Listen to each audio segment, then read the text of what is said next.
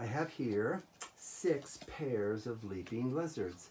Now, leaping lizards have been trained to jump over the lizards immediately in front of them. Isn't that amazing? Now, we could have gone from left to right or right to left, or even have the spectator decide that, because guess what?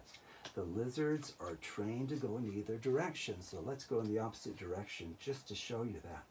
Now, for some unknown reason, every once in a while, these lizards would just kind of lose it mentally and just go crazy and start jumping all over the place. And no one knows why they cause such pandemonium, but they do. They just kind of go bonkers.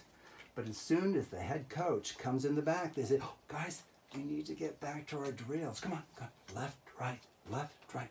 And if they do a really good job with their drills, guess what they can do?